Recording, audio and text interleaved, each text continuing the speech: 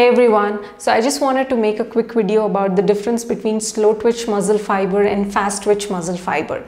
Now, if you're an endurance athlete who loves running, walking long distance, who's into cycling, then to support all these sort of activities, you require slow twitch muscle fibers. Now, slow twitch muscle fibers are type 1 muscle fibers that support long distance running and walking.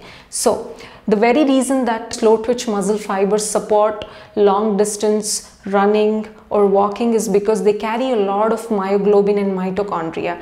Now myoglobin is something that carries oxygen to your muscle cells wherein your mitochondria will actually make use of this oxygen to produce energy.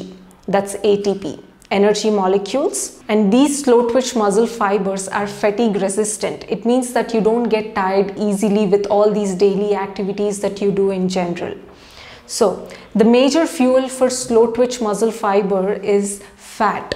Yes your slow twitch muscle fibers make use of fats to produce energy now, when it comes to your fast twitch muscle fibers, it's basically divided into two types again, type 2A and type 2B. Now, type 2A muscle fibers helps you with producing that quick energy that you need to lift heavy weights. So, these muscle fibers actually make use of the stored phosphocreatine and glycogen. Now, glycogen is basically the stored energy in your body. This muscle helps you with producing that energy that you need to lift heavy weights.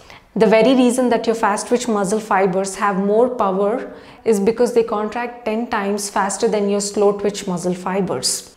Now, when it comes to type 2B muscle fiber, it helps your body with high intensity exercise, powerlifting, sprinting, deadlifts, squats. Your muscles will predominantly make use of this fiber to help you with all these high intensity exercises that you perform.